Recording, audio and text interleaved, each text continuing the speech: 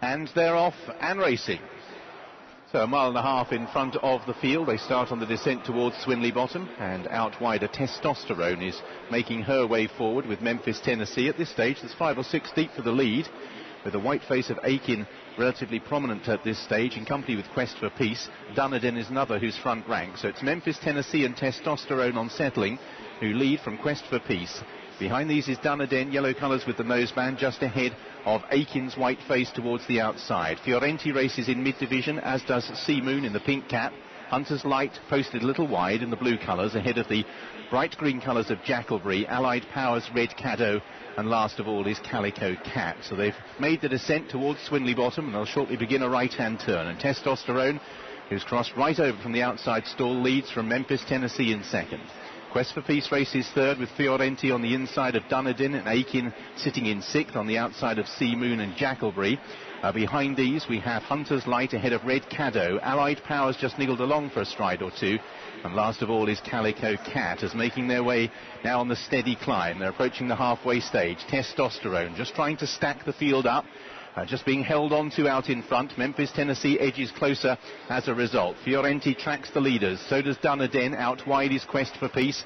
Aikens wide on the course. Jakkalberry comes next from Sea Moon. And that leading group of about nine are pretty tightly bunched. Hunters Light, Red Cadeaux has lost ground as they now prepare to take the final half mile. Testosterone leading from Memphis, Tennessee. Up on the outside, Aiken moves past Quest for Peace. Hunter's Light follows that one through. Sea Moon tries to do the same. And now Aiken moves right to the leader, Girths, as Testosterone turns for home. So Testosterone with Aiken poised.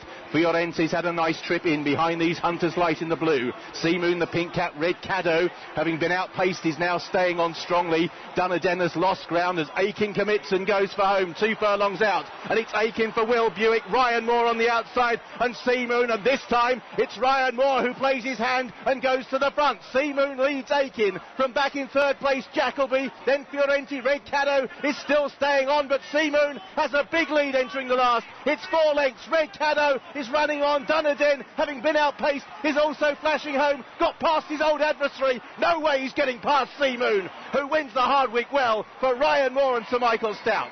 Dunaden second, Red Cadeaux again one place behind him in third. Aiken next home from Jakkalberry, then Fiorente Hunters Light Allied Powers, Calico Cat all the way back to Memphis, Tennessee. Well, the real Sea Moon has arrived today. He's the horse that absolutely hacked up in the Great Voltigeur at York last summer and then was unlucky in the St. Leger behind Masked Marvel. He ran a great race in America and he's certainly back and he's a force to be reckoned with. He's beaten Dunaden, the second and third, with a winner in the second in the Melbourne Cup, Dunaden and Red Cadeaux. It's rock solid form, really good form. Ryan Moore now draws level with William Buick in the uh, Ascot Jockeys title. I'll give you. And I think he, is he level? I think is it four four. Well, I'll check on that. Yeah, it is four four. Four four. Well, I'll tell you what, But Ryan. impressive, wasn't he- it? Bob, you picked him out in running from some way down. He absolutely routed these with a, an electric change of gear over a trip that.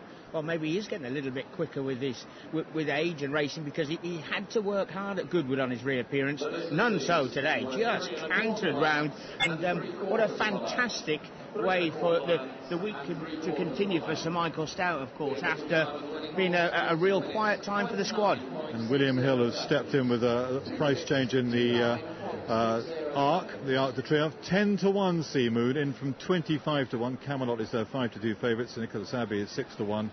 But uh, Sea Moon.